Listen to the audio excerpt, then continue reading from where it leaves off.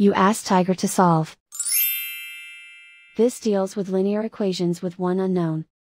The final result is x equals 15 over 13. Let's solve it step by step. Simplify the expression. Expand the parentheses. Simplify the arithmetic.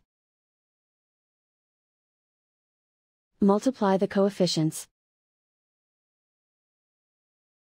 Group like terms.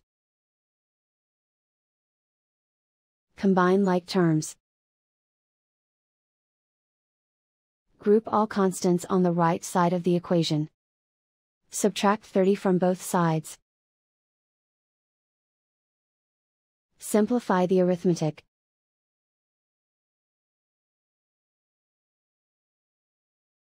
Isolate the x. Divide both sides by negative 26. Cancel out the negatives. Simplify the fraction. Cancel out the negatives.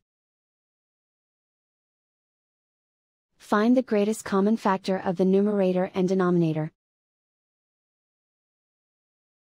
Factor out and cancel the greatest common factor. And so the final result is x equals 15 over 13.